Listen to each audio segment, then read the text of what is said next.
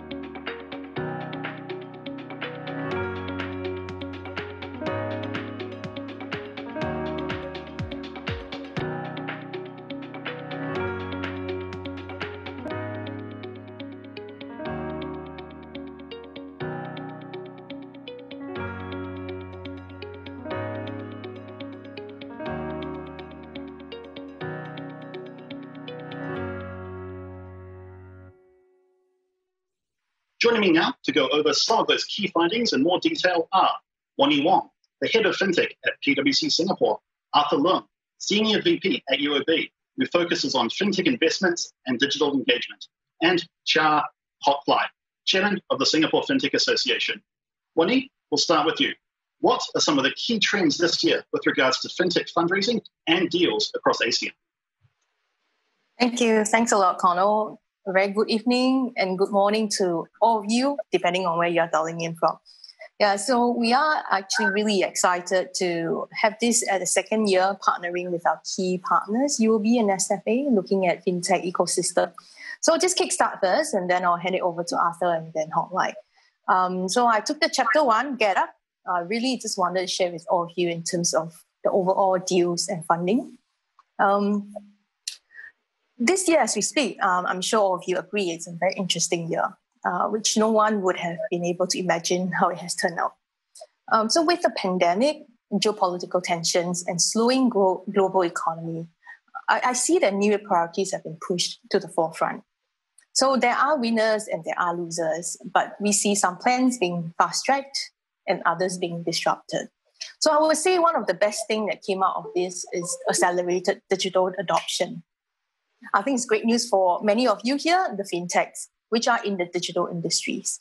So just wanted to give you a very quick overview of funding. Maybe I can go to the next slide. Yeah, so as we started the white paper this year, we took a look at the ASEAN states. Um, so meaning Singapore, Indonesia, Malaysia, Philippines, then and Vietnam. Took a look at how we have performed in 2020 up to the third quarter. So the results, as you can see, yeah, but 2020 as three months, nine months. So what you can see, see in funding this year, uh, as the last uh, bar chart, um, bar, bar graph in the first chart, we also observe some green shoots of growth actually. Um, as you can see, not surprising, we we see that the, the total amount of funding in this year, 2020, year to date, it's about 900 million compared to the good threshold of 1.12 billion in 2019. But without but without that negative kind of uh, connotation, what it's good for us to actually focus on is actually we are already better than 2018, and we actually do see green shoots of growth. So maybe if I can move on to the next slide. Singapore continued to attract the most funding. This is kind of the common common thing that we have mentioned uh, year on year, and it has maintained its established leadership in ASEAN fintech landscape. Indonesia actually moved up to second position this year while maintaining a stable share of ASEAN fintech funding. The change in ranking for Indonesia to become second, it's actually mainly due to the fact that Vietnam had a very chunky deal last year mainly for VNPay, a US 300 million deal. If I can move to the next slide as well. In terms of the numbers of deals, we noticed that three of every five deals in ASEAN went to Singapore-based Singapore-based firms. And interestingly, Q2 saw the highest number of deals. So we saw 44 um, deals that happened during Q2, despite very strict movement restriction around ASEAN. As some of you may know, in Singapore, that was also when we had the circuit breaker. In terms of the deals, we noted that payment is by far the most funded vertical in 2020. Um, payments firms actually receive about US 470 million so far for the nine months, and payments do look set to benefit from the growth of digital commerce and changing consumer behavior post COVID 19. So maybe if I can also move on to the next slide. Yeah. Um, while we while we see that the ASEAN fintech ecosystem continues to grow, uh, we noted that in the main hubs, uh, which you can see in the red, light blue, and um, brown brown colored graph, which would be Singapore, Malaysia, and Indonesia, the number of fintechs is actually growing at a slower pace. I mean, it's still growing, but it's a bit slower. And we do think that it's likely due to COVID 19 impact. And I, I feel that it's a sign of maturity of the ecosystem. Why do I say so? Because I do think that ecosystem is now more focused on proven players rather than the number of players.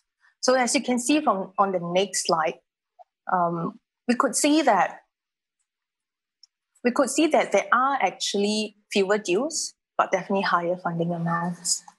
Uh, one of the VC that we interviewed referred to referred this to uh, K-shaped recovery, uh, which is what we are focused on. We do think that as we recover from this pandemic and economic situation, more well-run funds actually will see better valuation, while firms at the opposite spectrum will see a tougher challenge in attracting investment dollars. Can I have the next slide?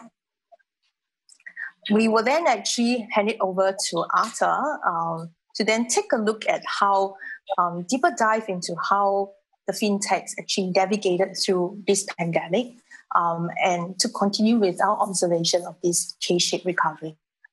Arthur, please. Thank you, Wan Yi. Um, so in the next couple of moments, I hope to share uh, some of the key survey findings um, we conducted a survey with many, many fintechs. Uh, we sent out a, a, survey to more than a, thousand uh, respondents. Um, and we got actually 109 uh, responses uh, to our survey. Um, it was conducted in the midst of the circuit breaker, and respondents told us that the areas of, sorry, can I go to the next slide, please? Yeah. Um, so respondents told us that the area of human resources, uh, business growth and existing projects and proof of concepts were least affected. Understandably so, as everyone stayed put in their jobs and they were shut, the shutting down of economies and borders turned out not to be so bad as it stoked increased interest in fintech solutions. Existing projects were even accelerated in some instances. Cash flow, customer acquisition, and profitability were the most negatively affected, and many fintech firms look for ways to better manage costs and be more efficient. Existing VC investors also stepped in as they were eager to protect their portfolio companies And besides additional financing, they also helped with operational reviews, restructuring, and encouraged collaboration with other portfolio companies. Let me move on to the next slide. Our second finding was that payments, uh, IDA, and cybersecurity were areas seen as benefiting most from the pandemic. Payments took the lion's share at 61%. No surprises with the lockdowns driving consumers to transact and do businesses online.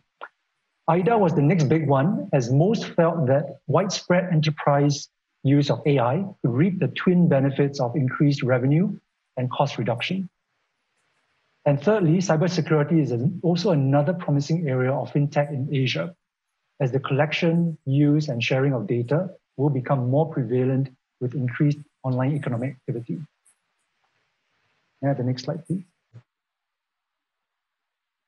So our third finding was that early stage fintech firms were perceived to be more negatively impacted by the pandemic at 58% versus later stage fintechs at 38% as investors turned cautious and preferred quality assets with a clearer path to profitability and some level of regulatory certainty.